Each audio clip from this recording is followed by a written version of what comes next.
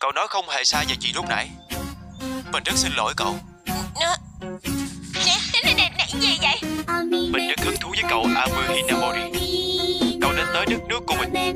Với tư cách là hoàng hậu tương lai của mình.